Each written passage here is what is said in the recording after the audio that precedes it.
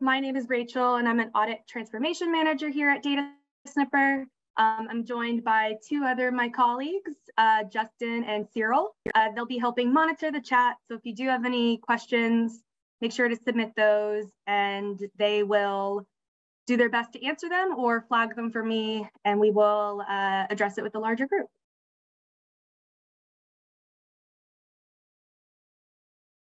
Okay, couple more moments here, but if you did just join, reminder for uh, those training materials you can access. Um, today's uh, demonstration is going to be based off of version 5.1. Uh, that's the version of DataSnipper I have. So that's what today's uh, session will be based off of. Um, there isn't a is not major differences uh, to from 4.1 if that's the one that you're on. Um, you might just see some different uh, cosmetic changes up at the top, but you still will be able to follow along and perform all the functionalities today. Um, all right, I think we can go ahead and get started here. Um, we do have a quick agenda that we're gonna jump into first. Um, again, this is webinar two in a series of two. Um, so it is loosely based off of the first webinar that we had. Um, we do have some polling questions, so this is interactive. We hope that uh, you're able to vote uh, with us today and give us some, some feedback and some you know, market information about uh, auditors who are performing employee benefit plans. The bulk of the session today will be getting into two use cases that we've developed um, that we're really excited to show some really great functionality, in particular templates. That's kind of the underlying theme of this session today. And then we'll close off with some next steps. If you did attend the first one, we kind of got cut off at the end there. Won't happen this time. We have a lot of eyes on the clock. So um, if we don't get to your question, however, make sure to still submit it in the Q&A and we can get back to your question um, offline uh, after this webinar is completed. Um, so I just did want to draw your attention to the chat here. Um, thank you, Justin, for uh, sending the, these links. Um, we do have a session one recording. So if you weren't able to attend webinar one, which was May 25th, uh, we did provide that Zoom link here for you to access. There's also training materials uh, for, for webinar one in the latest chat. And then webinar two, which is today's, uh, make sure you have those open and ready to go for us. Um, I do see a question in the chat uh, that it's disabled. Um, yep, that's actually due to our client privacy. Um, if you do have any questions to interact with us, do put those in the Q&A function, but let me know if you're not able to see uh, anything in the chat. When you join, I don't think you can see the historical posts, um, but you should be able to see those now. Let us know on that. All right. Well, I think that takes care of the agenda and the opening. I think we can jump right into some polling questions we have for you guys. First, we wanna know, do you attend the first webinar?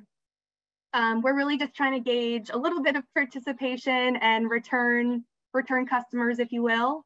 Um, but also curious if you want us to send you the webinar one link.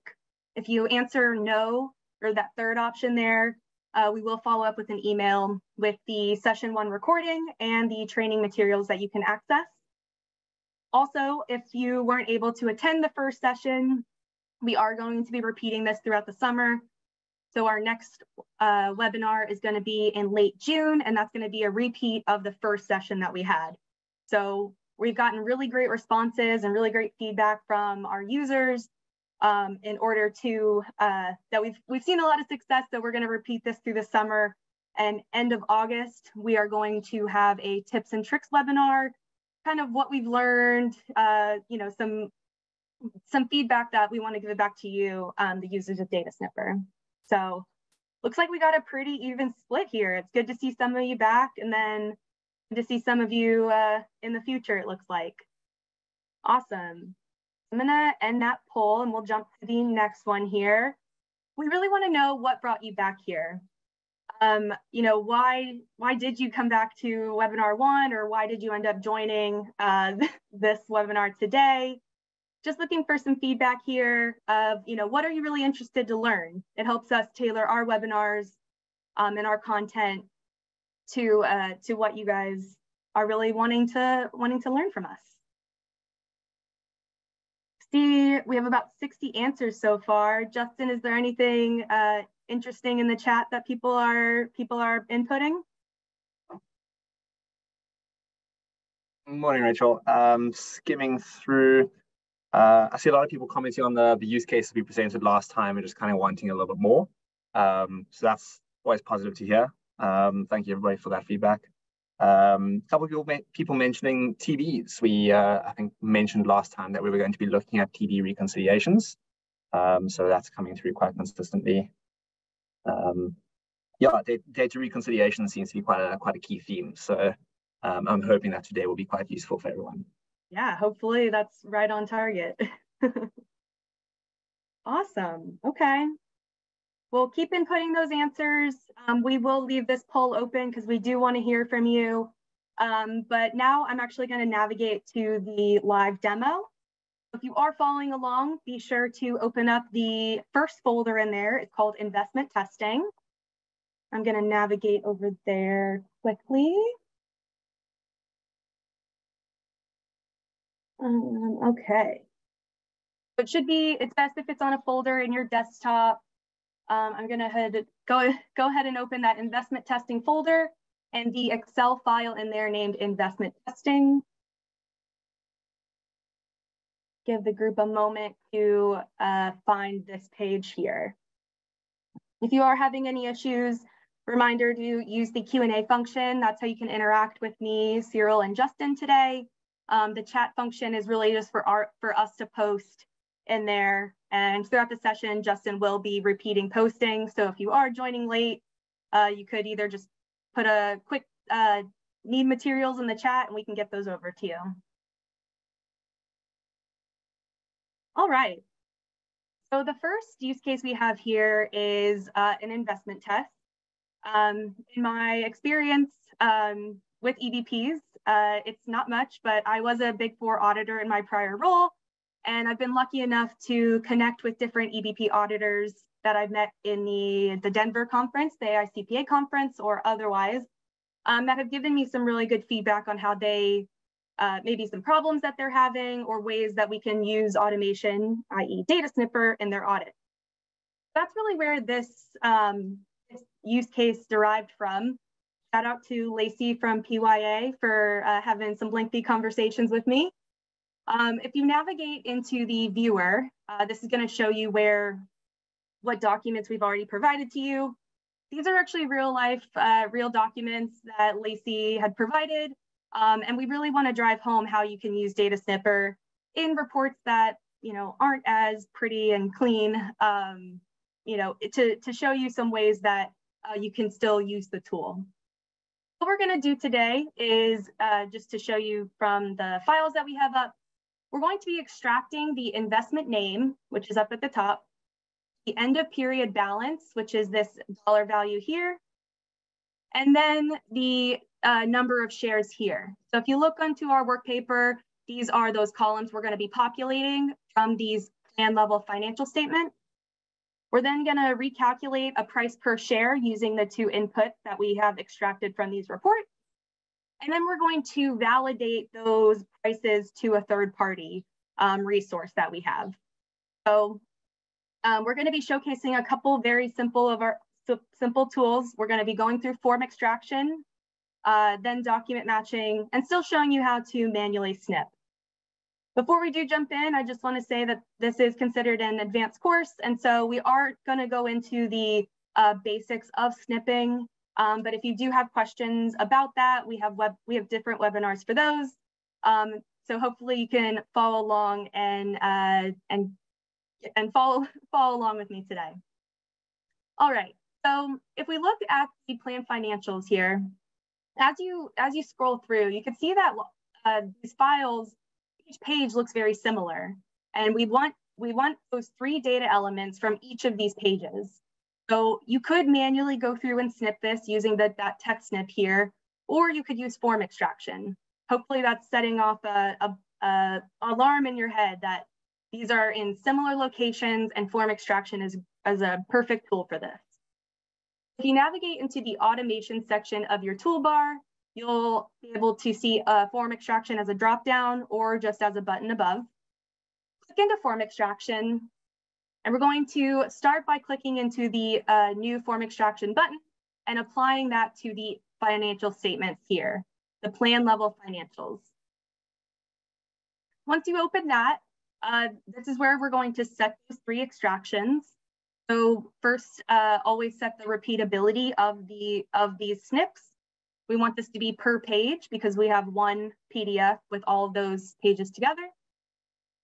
Then we're going to add an extraction um, I always suggest to make it a little bit bigger than the first one, just so you make sure you are encompassing uh, that full, the full name or that full, full caption.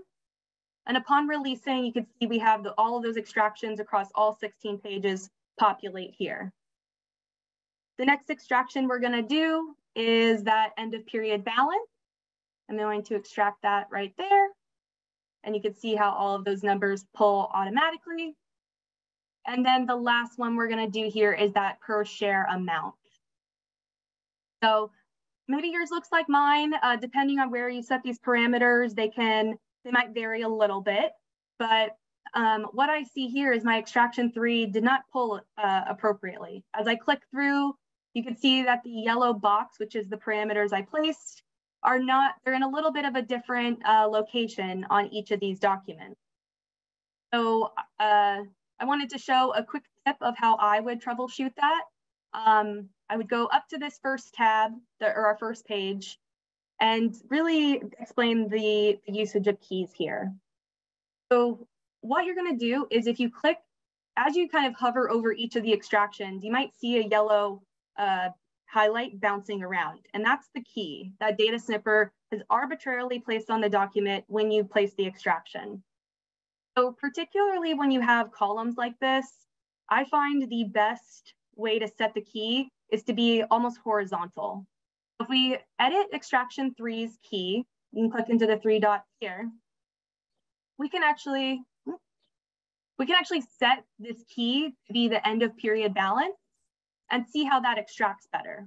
And that's because that share per unit, that was our original key, and it was missing the parameters down here, or it was missing that, that distance varied between page to page. So even if your extraction two, you can see I can make that the end of period balance here.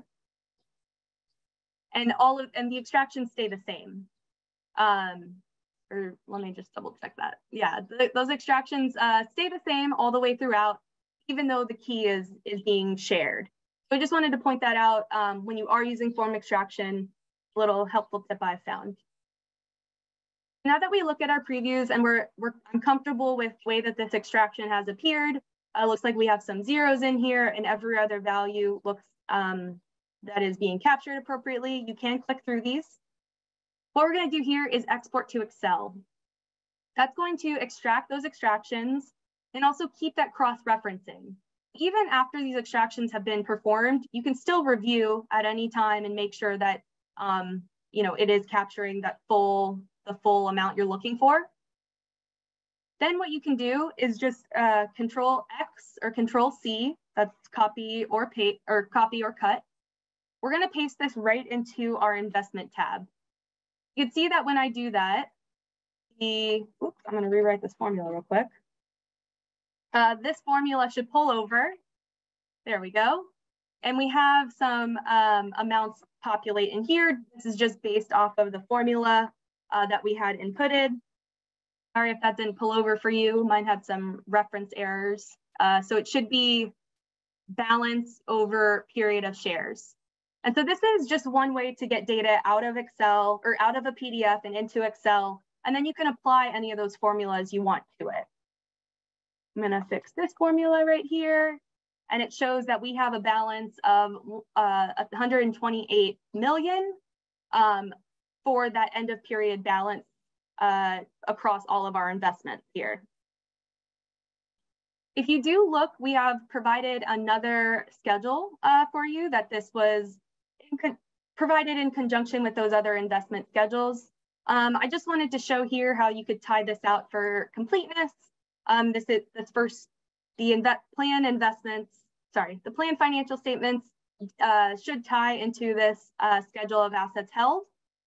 If you use that sum snip here, I just wanted to show that you can draw this over that amount exclude uh, this 2.9 because that is purpose participant loan. But if you include all of these mutual funds here, you can see that we are tying out um, within very immaterial difference. Uh, and so you can feel comfortable that we have ensured the completeness uh, for our first procedure. Okay, next we're going to get into uh, the second, that second, uh, the second procedure, if you see here, we're going to be uh, recalculating that investment price per share, which is what was performed in column G. And now we're going to validate that to third-party evidence. So similarly, uh, as I had mentioned, you could do this manually um, using just the text snip functions. We have included uh, this investment closing price, supposed to look similar to uh, an XML download you might receive from a certain uh, a terminal or, or pricing terminal or something like that you could go through and search uh, for each of these investment names uh, using that search function that we have here and providing those snips, or you can use document matching. And so this is it's going to expedite uh, the way that we um, have historically tested any sort of matching of data that we have. If you navigate with me to that document matching uh, button, here we're going to start a new document. And what we're gonna do is, uh, if you pop open, actually, uh, this is um, the grouping on row 16, you'll see that we have a little cheat sheet of how you can uh, follow these steps. So first, you're going to select the sample data. And that's going to be investment name and per price or price per share. To, to look or to highlight both of these columns, make sure you're holding down control as you are going down column D and then column G here. These are the sample data. This is what we want DataSnipper to read into and then find the match in our two output columns we have here. The kind of the main thing with it, with uh, document matching is that is the use of folders. And this is something that come out with version five. So you might not have this on your uh, machine but you still are able to run document matching. Uh, it just might look a little bit different. Um, what we're going to ask DataSnipper to match is going to be the third-party support here. So it should say the closing inventory prices for 2022. Um, that is the file that we're going to be matching to. If you select this folder or that file, we can now move on to the next and final step, where we're going to pull DataSnipper for this investment name and for this price per share, find it on the third party support and put it in these two columns. So to do that, we're gonna say investment name in column H and price per share in column uh, I there. Now, before we do that, I wanted to mention two things. Um, I, I think it's the best practice to uh, always have, always apply a, an amount or threshold, particularly when you're dealing with matching formulas. So price per share um, column here that is our input, that's actually a formula, right? So there could be extra decimals that we're just not seeing in the, in the way that I formatted this column. So I usually like to have a value, actually I'm gonna do a percentage of 1% here um, to add a little bit of a threshold. And so what that's gonna do is as DataSnipper's reading this investment name and finding this price per share, it's going to also match anything above or below uh, within a 1% deviation. Um, that's because document matching is looking for an exact match, and that's what that's what will prove the extraction. So um, I think it's really important, especially when you're dealing with formulas, but anything with um, numbers, you can use the amounts here. For investment name, you can use this fuzzy text matching. Um, if you do have a little bit of uh, like off characters or misspellings or anything like that, uh, fuzzy text matching will match that. But for us, um, hopefully this is what your page looks like on the third party support. uh, we're gonna uh, select, hopefully you've selected HI, high here. Um, and here we're gonna match all rows. We're gonna see what DataSnipper has pulled out for us uh, for us to evaluate uh, these uh, exceptions without or outside that 1% deviation that we provided. So if I open this just a little bit, um, you could see here that we have a couple of zeros uh, or match or incorrect matches, I would say, or false matches maybe. We see that the name is included on uh, the report um, and the amount should be zero here. And that's because the price, there was no balance for this fund. So that's what I would expect. Uh, this does not need to be matched. What we can do is actually hide these uh, zeros, the amounts that have no period balance and no implication on this plan's balance at the end of the year. And then I can see that we have another uh, miss or in uh, open match, I'll say. If we go into the investment name, TIAA-CREF, you could see that that amount, there is an amount here. And if I click into uh, this column I, I can use a text snip to snip that amount into my, um, into my workbook. And I can see that it's actually uh, a little bit off of what we have determined um, a certain materiality to be. So if this really is an exception, as we've placed some conditional formatting in this last column, what you can do is actually click into the um, into that text snip and change it to a, a, exception snip or validation snip, however you prefer to document um, with our manual snipping tools. So that is, that's the investment test, a little bit of a price test. Um, that you got to see some form extraction across these plan level financial statements. You get to see some manual snipping here and also that document matching um, to the third party price. Um, I'm gonna take a pause here and just see if there are any questions. Um, Justin, if you could look through and let me know which ones we could cover. Um, while we're doing that, while Justin's looking for a question for us, I'm going to pose the question, a different question to you guys. Let me know how much, how many hours could uh, something like this, some sort of work paper like this, save your team uh, per engagement. So thinking through a basic form extraction, thinking through a basic uh, document match, where do you see that time savings coming up for you? While you guys are uh, thinking about that, oh, there's Justin. There, um, um, hello, Rachel. Uh, we've actually been dealing with most of the questions, so there isn't anything that like specifically needs your attention.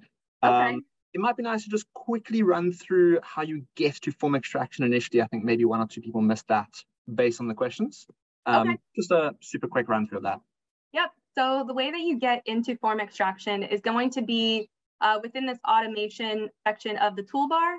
Um, if you are on a later version, you might not see it's document extraction, but form extraction does live here. You can click into this and let me actually go back. And this is kind of the opening page you should see. You'll see a couple of templates that uh, you should have available to you. Um, but the blue button is really kind of that start button that you can click into and then select which uh, file you want to apply the extractions to. Um, so this is where we went earlier, that financial statement plan, and then we brought it into uh, this view where we place those three extractions. Thanks, Rachel. While you're there, actually, just before you close that, sorry, um, another question's just come in around editing the keys. So if you could okay. quickly just re-show that as well, that would be useful. Yeah, let me get into that. That's a really great question. So if I go back into, actually, let me get that into that form extraction. Sorry about that. We'll place that yeah, the keys I think are really, keys are key to using form extraction. Um, as I'm placing these, again, this sniffer is arbitrarily finding an anchor point or a key to place the, to help place this extraction in the repeatability that form extraction can hold. So when we select extract per page, which maybe, maybe uh, this is also something that uh, you need to make sure you're doing, you can see that we're missing uh, a couple of values. And so that's where the keys really come into play. If we look into, as I'm kind of hovering around, you can see that uh, for extraction one, the key has been identified as principal. And so in order to change that, you'll click into edit key and then use something unique, like any, and something close to where your extraction is. So I've been doing, for this exercise, I've been doing this report period as the key. And then you can see as you click through, DataSnipper is finding that local common point throughout all of your forms and then placing the extraction right above. So it definitely comes, you get a little bit better with it as you get more familiar with uh, the forms and how the keys work. Um, but it is really uh, based off location or how far away uh, that key is to where you want to place that extraction. Maybe the other thing um, I could get into while we're here is document matching. So something that we're going to see in the next use case is going to be uh, that templating feature. Um, if I pop down this document matching uh, kind of key that we have here, um, I just want to remind you what our inputs were. So that was that price per share and this input that we have here. And so if we go back into document matching, if we get back into this window, um, you could obviously change anything here. You could rerun this as many times as you'd like. Um, but really the cool feature is to save this as a template. And what this really does is it saves this entire tab at this point for you to reuse again. So if I save this as a template, um, which I actually already have done, so actually let, let me just demonstrate. Um, if I go into my templates, I've actually created at this point, I've, re I've, I've saved this as a template. And then I, uh, whenever you do create a template and you can save it locally, it'll always be the latest um, template that you have here. And as I click into this, it's actually gonna replicate that work paper that we just went through. And then you're gonna have the ability to paste in that sample data, which was these inputs here. Whoops. This input and this input. Ah, that investment name and price you can use this again on another engagement on the following year of the audit for this client. Um, you can really customize these templates. And I think there's a lot of power in them of saving all the formatting and all the structure where all you need to do is put in your new selections for the year and then update that third party support. The other thing that we'll get into shortly with templates is that I can actually copy and edit this um, and it'll just create a new template for me where now maybe I want to add in some new sample data. Maybe we want to pull in this end of period balance, for example. Um, that is, you're able to kind of come back through and make edits to these templates. And then we'll get into how you can publish those um, later down the line. But I think that that's really, really a cool feature with document matching um, that can save you a lot of efficiencies down the line. It might be a little bit to set up and to organize with your client um, you know, I need I need it in this format or I need it to look like this. Um, I think that upfront work will really pay off at the end when you've already created a template uh, for a specific test. So I'm going to pause there again right before we get into the next use case. Um, yeah, I think I think we're we're good to go. So that was investment testing, again, we showcased form extraction and document matching on those. If you're following along, the next uh, materials we're gonna look at today are the Form 5500, or is the Form 5500, excuse me. It should be called, it should be in the folder Mark two, uh, DS Form 5500 reconciliation. This is what uh, we're gonna get into today. Just checking the time, looking good there.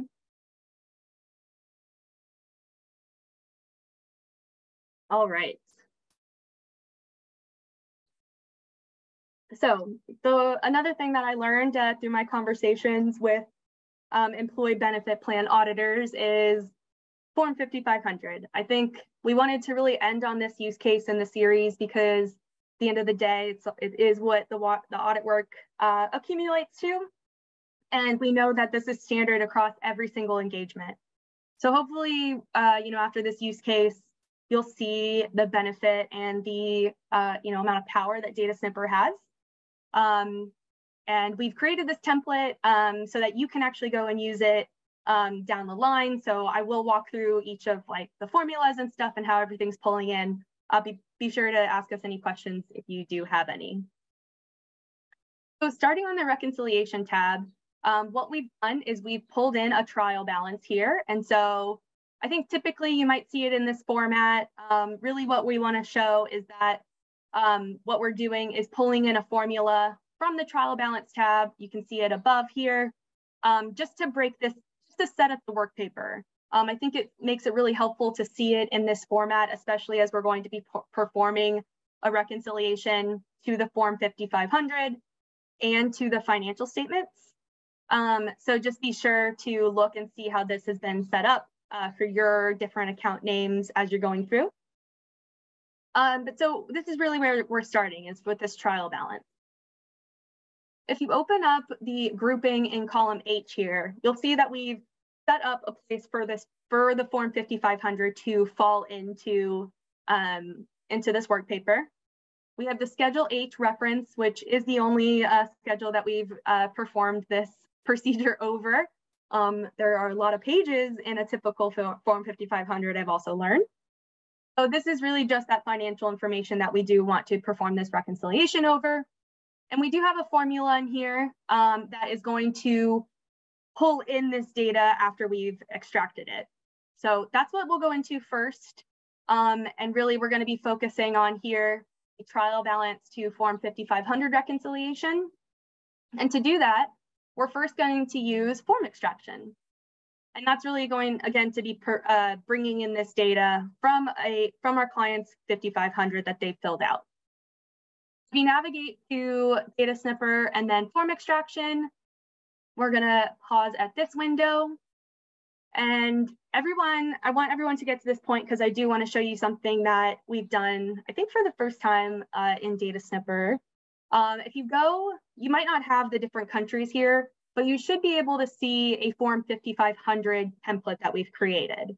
So this is something that Justin and I collaborated on and we published uh, as da from DataSnipper to you um, that you can leverage in your Form 5500 uh, procedures through August 31st. So this will be up about a week after, oh, until a week after our tips and trick webinar, tips and tricks webinar. Um, so we will walk through how you can use this and how you can customize it uh, for your engagement purposes. But for now, what we're going to do is click into this template and you should get this pop-up. These are the files that we've already imported into DataSnipper. I would like for you to select uh, Form 5500 from our client and you can click OK there. So Another shout out to um, Erin for helping me, walking me through a Form 5500. Um, you could see here that this is, uh, she showed the tie outs of the prior year and uh, the current year, and this will actually go all the way through the financial statements. So again, we just wanted to showcase how DataSnipper uh, can work on a real life auditor's uh, you know, documents. So again, um, we've saved this as a template, similar to how I showed with document matching. We've saved this as a template and each of the extractions has been named for the reference you see on that form 5500. So 1C9, you can see uh, where I'm, as I hover over, that's the key that's being highlighted. And then you could see where E, the tick mark E is, that's what's actually being, uh, that box has been matched. So we've taken the time to set up the keys, so that the template is performed with excellent accuracy every time I've done it. Um, so please give it a roll and let us know how it works for you. Um, so scrolling all the way down, you can see all the extractions that we have placed. It's gonna be all of these boxes here. And these are the ones that are actually also in the previews uh, for this one for this one document, Form 5500 client. So what we're gonna do is export this to Excel and now we have our extractions. Um, the thing with DataSnipper is this is the way it populates. So um, what, what we've done in our reconciliation tab is included an H lookup formula. And you can see here um, that each of these amounts has been pulled in based off this H lookup. So as I scroll down, you can see cash non-bearing interest was 1A on our Schedule H, and that's the amount that has been pulled in. And you can see that highlighted here. We click down, we continue to see the amounts uh, be pulled.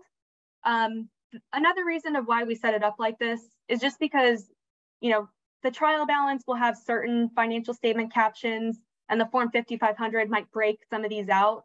That was kind of the uh, situation here and that the two parts were not documented on, or disclosed on the trial balance separately, but that total we have tied out here. So that's really where these uh, where this formula is coming from. We're taking A minus B to show that we have tied out with very immaterial exception um, that trial balance to the form 5500. So one other thing I'd like to touch on here is that within this formula, um, we've included, or Justin really is the mastermind behind this. Um, what we've done is in, in, this formula, we've given you the ability to change the tab name. So if you go to the Start tab, you'll see that we, we've actually left some step-by-step -step instructions for you to follow along um, exactly what we've just done in order to populate that column G here if you want to keep uh, using this template. And what's really cool is that you can change the tab name and it gives you more, um, more of that flexibility to um, how the final work paper is presented. You don't have to have a tab named form extraction um, in order to use the those amounts that have been extracted.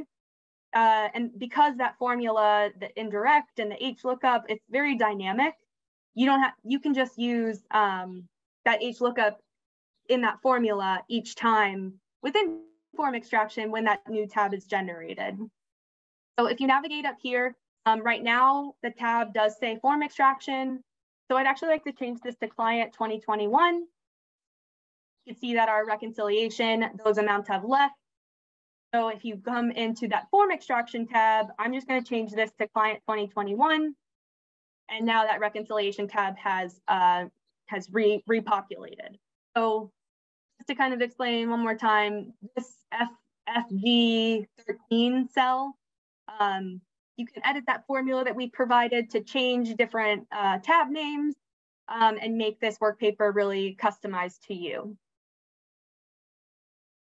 Um, so now that we've gotten our trial balance and our Form 5500 extracted, now we're going to go into the reconciliation to the financial statement.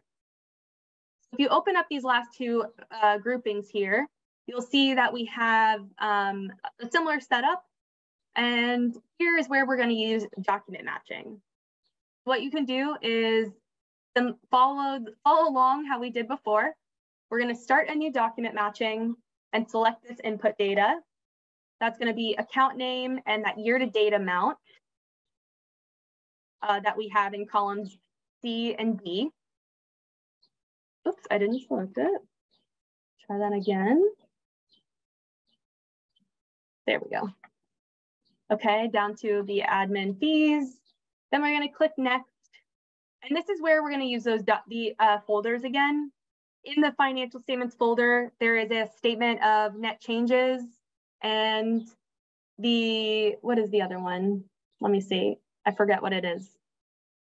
Change it, uh, statement of changes and then the statement of net assets. So these are the two files that we've put into that financial statements folder for you already.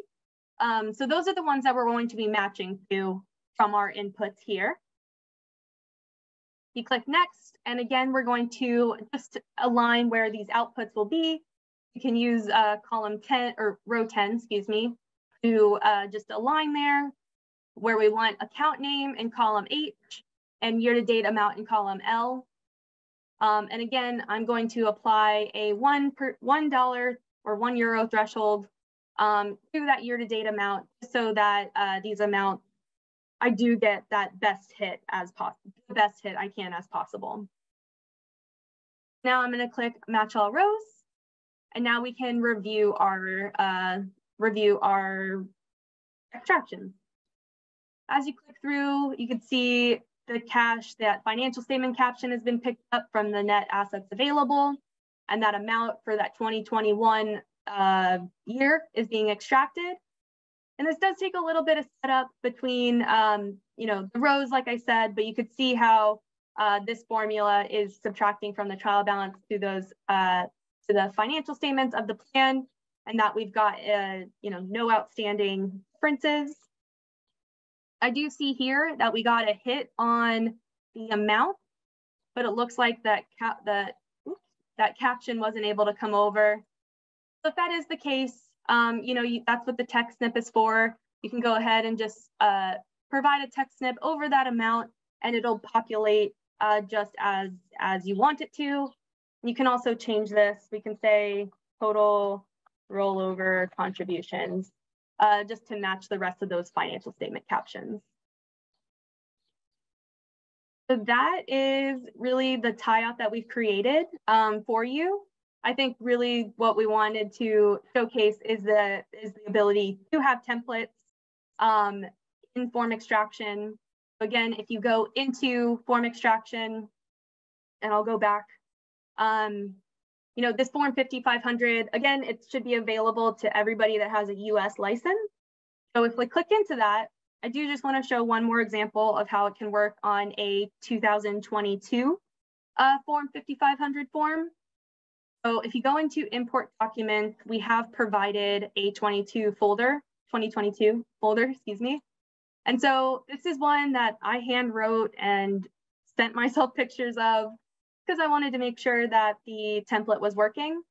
So you can upload that and uh, make sure that that is the only form you're selecting to apply the extraction to. I'm gonna click OK. And even if you get this pop-up, that's okay. Um, it's just a check on what it's being able to find. You can see here on this sample 2022 form, um, I can click through each of these extractions and double check. So 1C9, is that being pulled correctly? Even though that it's outside the box, it does look like it's pulling. Um, you can see here, we do have an empty square. And if I look at 2B1E, which is participant loans, it looks like my extraction is a little bit off. That's okay. Um, even if this extraction is, is empty, um, I would still suggest going through um, and, and reviewing each of these. Before you export to Excel um, and continue the process as I've shown, this is where you're going to be able to edit the, uh, the template we provided. So if you're following along, you can click into edit and you'll be able to save it to my templates on your local machine. Then you can, maybe your clients do have a B1A or 2B1A amount that they typically see here you can go in and add that extraction um, and add as many new ones as you'd like. So what we're gonna do is export this to Excel. And then for those empty ones that we had here, what I would do is just come in and move the box. After you've set those extractions, they're not, um, they're not cemented there. Oops, they are um, movable. So you can see here that the snipper is identifying this as a value and I've just um, kind of right-sided my extractions quite quickly, um, leveraging leveraging the, the, the template feature. So I'm going to take a sip of water, um, but also I'm going to set out another poll, um, just asking you about which template do you think you're going to find more use out of between form extraction or document matching or both um, you know, that's really what we wanted to drive home today of using different templating features we have. Um, again, featured are gonna be ones published by us here at DataSnipper for um, our client. Company templates, you can see I have two here um, that I created and published to my own license. Then templates is going to be any ones that I've created and saved locally. There is a process to share these um, and you know, any transformation manager or your customer success manager can help you uh, walk you through that process if you are interested in that. Um, again, I think it is really the key to finding more efficiencies in uh, employee benefit plan audits, um, particularly because you're doing the same test across your clients each year. Um, so why not create leverage some templating uh, to standardize the way you work? All right. So that was, which poll was that? Poll four. I think that puts us We have a little bit of time. Justin, are there any questions or any features we should go back and revisit? I think you're covering things really well. Um, one of the common questions that has come through is really around the templating.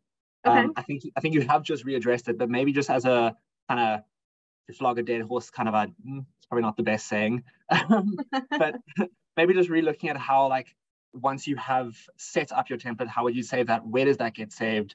And then what's what's the difference between my templates and company templates, and how do we get that working?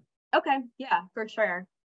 So um, maybe I can do, yeah, this this uh this last template I made. What is for? Oh no, I don't want to do that one. Maybe I'll go back to this form 5500. Okay, so let's go back into maybe I'll do it across these two forms here. Um, and you can see that the more forms you select, you'll see both of those side by side. Um, these amounts are the exact same. I copied them over, so it is good to see that these are all pulling accurately there. Um, so after, after you're using, whether it's a company template or a featured template, or even one that you created yourself, uh, you do have this ability to edit. So what this will do is save this to your My Template. So I can just say form 5500, DataSnipper template, and we'll just say schedule H extractions. Um, and this, this is just for me to know kind of some detail about what is being saved. You can put whatever you'd like here. I'm gonna click OK, and now you're gonna get this pop-up to review it, make sure uh, those extractions all saved appropriately. So if you didn't go back to revisit a key, that's where I would do this. By clicking OK, you'll see that now we are have we have the ability to add an extraction. Like I said, if you if your client maybe does have a 2F, right, that you have uh, an extraction you want to place here, I would add an extraction onto the document itself. What did I say? 2, 2F. So I would place the extraction big enough within the box so that it will really capture anything um, in that, whether it's handwritten or typed in. And then I would edit the key. You can see that DataSnipper did highlight and appropriately find that 2F. Um, alternatively, I found success with actually highlighting the whole caption there. Um, you know, there's nothing in this value or in this cell, so we're not going to see anything. Um, but it, but that is also what I would expect, right? I wouldn't expect any value to be in here, so that tells me DataSnipper is appropriately pulling these. Um, and then that latest extraction, it'll always default be named extraction one, two, three, all the way up. So um, all, I always suggest to add, add this to F, add an extraction name. And then if that is the only edit you need, you could save this as a template and then that'll go into the My Templates. So then maybe I wanna say this is form 5500, schedule H with new extractions, or maybe this is just for 2022. However you want to save it, um, really I'm just trying to get across that you want to be specific with how you're saving these, because really this is all that information that you'll get. Uh, so it'll show those extraction names. If you don't set those, it'll just come out as extraction one, two, three, four. You can see that can get a little repetitive sometimes. So I'm glad to announce that it looks like most people can't choose between which template that they want to use. Um, I think they both have a lot of they both have a lot of value. It just depends on how you want to set up your work papers. Um, you know, we hope to see a lot of clicks into those for, that form extraction template um, for form 5500 and hear about how well it's working for you. Okay, so let me get back into, oh, I forgot to show this. Oh, Justin, I'm sorry. I forgot to show this cool uh, PowerPoint slide that you made. um, but as we get back into the PowerPoint, just want to show that, you know, we have, we did show a use case with both form extraction and document matching. Um, you can use these in either way. Again, it depends on your, I would say the way that your work paper set up. Um, but glad to see most people can't choose between the two awesome features.